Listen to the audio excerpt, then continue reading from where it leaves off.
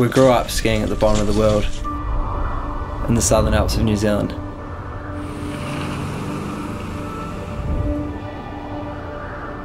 A place where reaching the snow is not always that easy.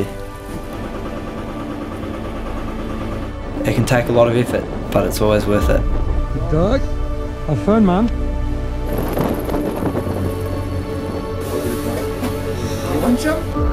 In this intimidating terrain, we're always trying to push ourselves. Oh! Yo! Jane! Yeah.